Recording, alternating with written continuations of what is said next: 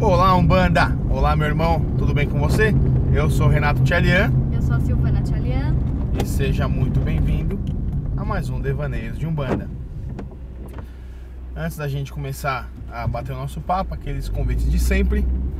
O primeiro convite acabou de chegar, não conhece a gente, nunca ouviu falar, se inscreve no canal, dá uma oportunidade da gente te encantar com aquilo que a gente traz. A gente traz informação de Umbanda com muito amor, com muita responsabilidade.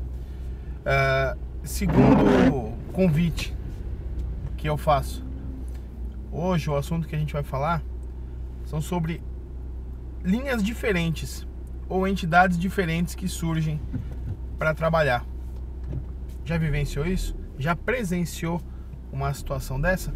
Como é que você lidou? Como é que você entendeu isso? Te interessa esse assunto? Então, a carona tá aqui. Vambora? Legal. E eu não podia começar esse assunto sem antes citar ah, e mandar os nossos sentimentos, as nossas condolências a toda a família católica pelo falecimento do arcebispo emérito ontem aos 95 anos, bispo Dom Paulo Arnes. Dom Paulo Evaristo Arnes. Tá, a gente, ah, por mais que sejamos de outra religião, a nossa convergência em Deus é muito maior do que as nossas divergências. E a gente sabe o quão dolorido é perder uma pessoa, não pelo gabarito e pela importância, mas pelo amor que ela demonstrava pela religião.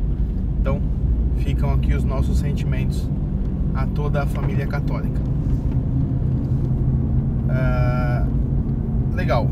Vamos falar então de linhas diferentes que se apresentam para trabalhar. Aí você tá lá no teu terreiro, aí de repente a entidade que comanda os trabalhos fala que vai de repente vir uma linha que você nunca ouviu falar. Vou dar um exemplo prático aqui. A linha de caboclos bugres. Quem? Você também não conhece, né? Não. Caboclo o quê? Não entendi. Caboclo bugre. Bugre. Bugre. Ah, são poucos terreiros que eu tenho notícia que trabalham com essa linha, por exemplo. Até onde eu sei, e desculpa aqui a minha ignorância, é uma linha mais ah, de pagelança, uma linha mais de cura. Então é, é- são entidades diferentes que vêm nessa para trabalhar nessa linha. Ah, terreiro do Pai Manuel lá em Santos, eu sei que eles trabalham com essa linha. Aliás, Pai Manuel, um abraço pro senhor, sua bênção. De longe aqui, ó, e mexe acompanha o teu trabalho. Eu sei que eles trabalham. E aqui em São Paulo, eu acho que tem mais um terreiro que trabalha, que eu conheço. E, enfim, se o seu trabalhar, avisa pra gente também. Trabalha mais com pagelança, tal, é diferente. Deve ser muito bonito o trabalho, inclusive. Além disso, eu já conheci terreiros que trabalhavam com uma segunda linha de pretos velhos, que é uma linha de preto velho um pouco mais feiticeira, um pouco eh, diferente. Inclusive, nesse terreiro foi interessante essa história, porque o dirigente ele visitou um outro templo. Olha isso, ele visitou um terreiro no Rio de Janeiro e lá ah, uma preta velha incorporada ah, em um médium falou: Olha, eu vou acompanhar você agora. Eu vou com você e eu vou trabalhar com você. A gente vai fazer um trabalho diferente lá. Como assim, cara? Pois é. E assim foi feito. Então hoje, essa casa trabalha. Tem a sessão de preto velho normal. Quem comanda é o preto velho desse médio, que trabalha com ele já há muitos anos. E eventualmente essa preta velha se manifesta para fazer esse trabalho diferente. Por quê? Não sei. Você também não sabe. Se bobear nem o dirigente sabe. Mas precisava e criou esse corpo nesse, nesse sentido. O terreiro, onde eu nasci, fui criado, por exemplo, a vida inteira tivemos trabalhos de diversas linhas, né? Então, caboclos, pretos velhos, exus, baiano, marinheiro, boiadeiro, ah, chamavam-se entidades de todas as linhas, e a gente achava aquilo o máximo, que delícia. Um belo dia, isso lá atrás, tá gente? Hoje em dia essa linha é muito comum e muito divulgada. Mas lá atrás, um dia, o Exu falou, olha, a gente vai começar a chamar Exu Mirim aqui. Meu, como assim? Exu Mirim? Do nada resolve aparecer Exu Mirim? É, do nada. Fez-se necessário. Vou mais além. Por conta de uma demanda espiritual, lá também fez-se presente, e eu nunca tinha visto isso até então, uma linha de bruxos. Quem entende, tá, gente? Quando eu digo linha de bruxo, eu não tô falando que vai usar cartola. Ah, cartola não. Como é que chama aquele chapéu cone, sabe? É, chapéu de bruxa. Chapéu de bruxa. Gente, nada disso. Nada disso. Nada, nada disso. Tá ok? Super sério, super responsável, sem brincadeira, sem nada. Super tranquilo. Lá atrás também, ah, um belo dia, no nosso terreiro, ah, começou também a trabalhar com a linha de ciganos. Naquela época não era comum. Naquela época eu digo, é década de 80, década de 90, tá? Não era comum trabalhar com esse tipo de linha naquela época ainda. Também chamaram a linha dos, dos ciganos. Fora isso, teve uma vez, eu recordo nitidamente, ah, nós fizemos uma vigília, veja que interessante, uma vigília de Exu. E nessa vigília de Exu, então no começo está todo mundo comparado com, com Exu que o ampara, que o auxilia. Depois, o Exu da dirigente ah, começou a falar: olha, agora eu quero todos os médios incorporando com Exu da mata, com Exu do mar, com Exu do rio. Começou a dar diversos uh, os campos santos, né? Para trabalhar. Não satisfeito, a gente ainda recebeu a energia do elemental. Então, elemental do fogo, elemental da terra, elemental do ar, olha, da água. E, e isso é assim, isso é enriquecedor para o médium, tá? Porque você se permite sentir diferentes vibrações, sensações e sentimentos. Você está acostumado a incorporar lá teu caboclo, teu preto, teu Exu, teu caboclo, teu preto, teu Exu. Aí uma vez por ano, duas vem teu Irê. Aí de vez em quando vem baiano.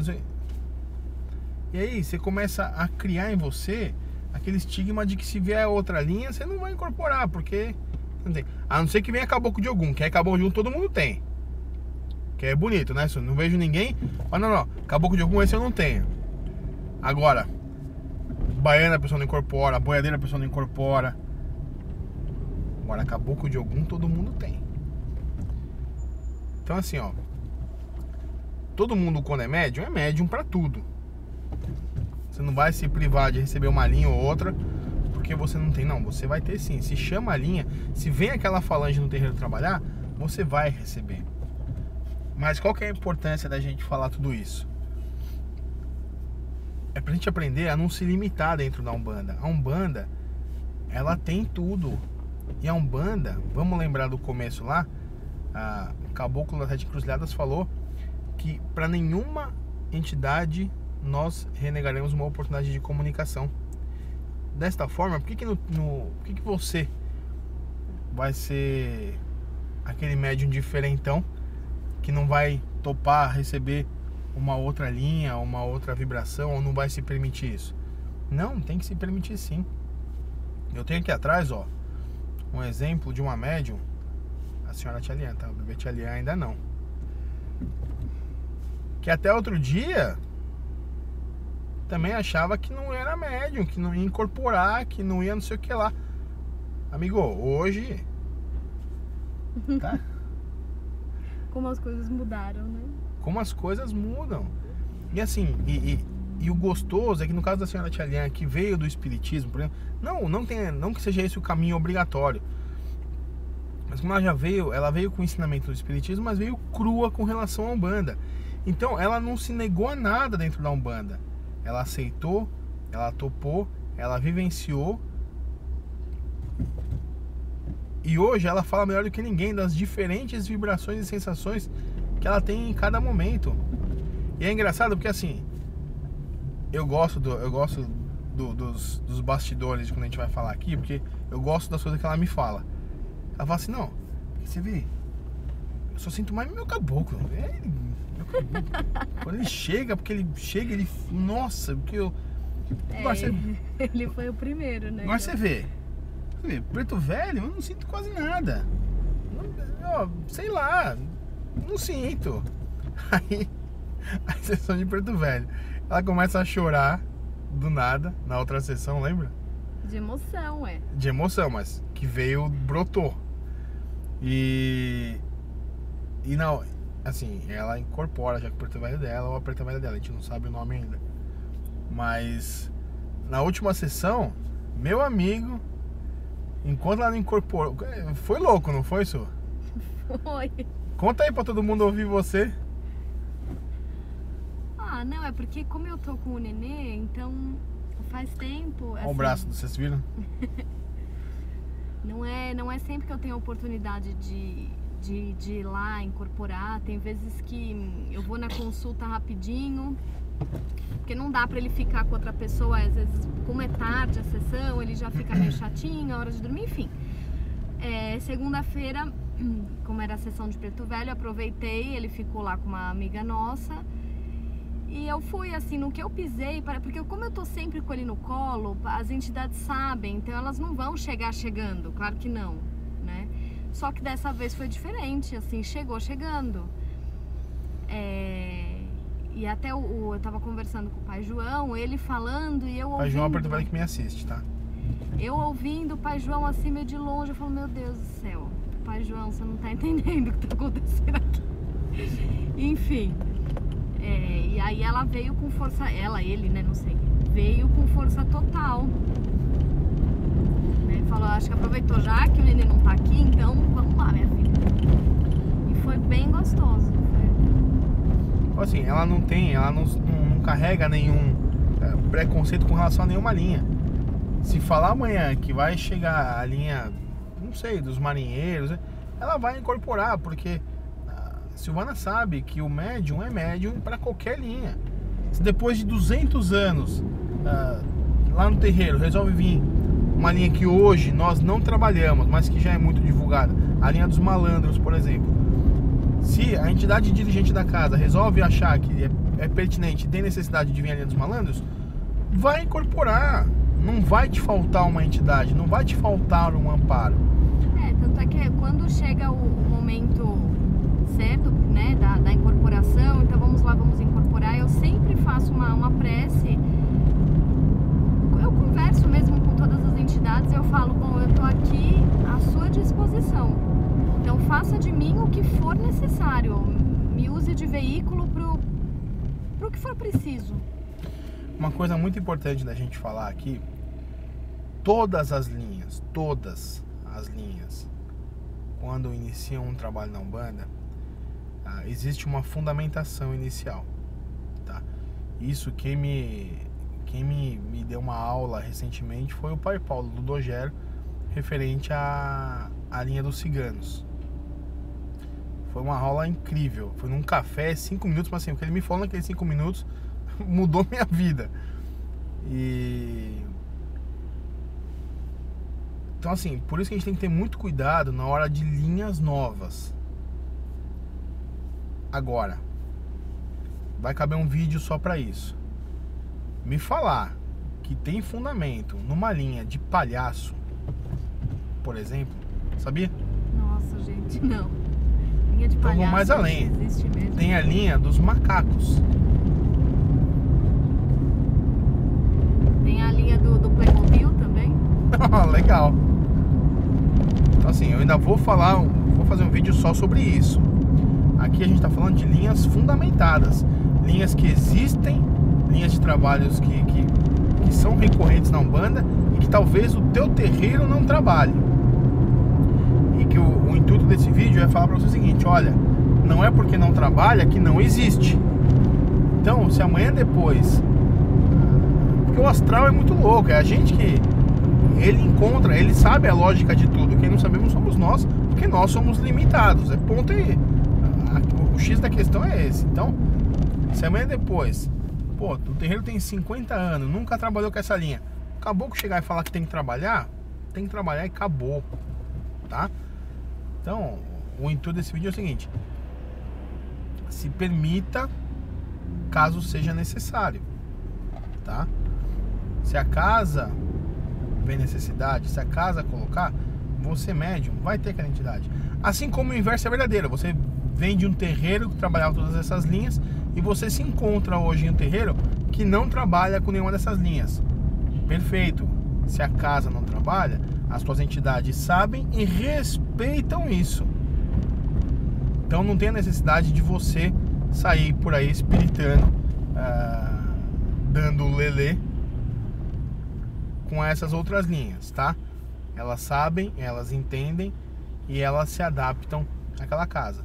O marinheiro naquela casa não trabalha, ele fala, opa, então tá bom, deixa lá meu, meu médium guardadinho, eu vou trabalhar aqui no astral. A hora que puder trabalhar de novo, a gente a gente se vê. Entendeu? É muito simples essa essa funcionalidade, essa hierarquia lá no astral, certo? Vamos fazer um vídeo para falar dessas linhas bem loucas que surgiram aí no que eu acho que o pessoal perde a noção também, né, Su? Começa a achar legal que é, começa a inventar, né? A imaginação, a criatividade da pessoa às vezes voa longe. Uma vez foram perguntaram quantas linhas de umbanda tinha. Ninguém sabe o número exato, não existe o número exato de, de linhas. Mas, uh, eu lembro que até onde eu acompanhei tinha dado 33 já. Agora pensa, 33 linhas de Umbanda. Você consegue compreender isso, irmão? E aí, cara, surgiu de tudo, tá? Linha dos meninos de rua. Uh, a linha dos piratas. E por incrível que pareça, a linha dos piratas foi a melhor fundamentada perto dessas outras. Ainda quando falaram isso aí, alguém falou, pô, Capitão Gancho tal.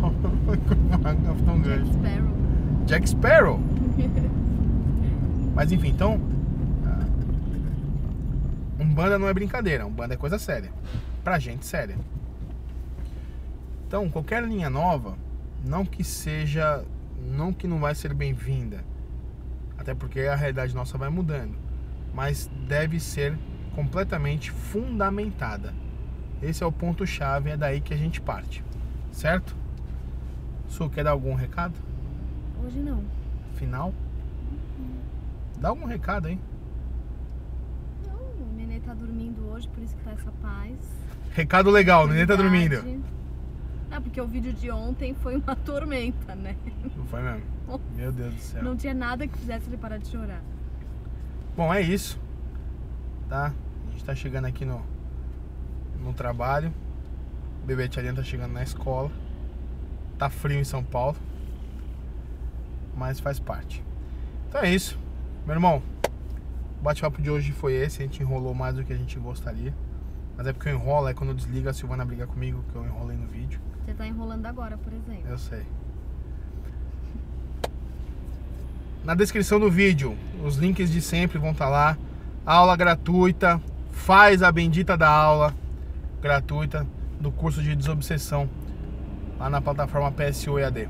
Tá bom? Depois a gente fala mais sobre isso. Meu irmão, minha gratidão, meu axé, meu saravá, um grande, um grande, um grande abraço para você.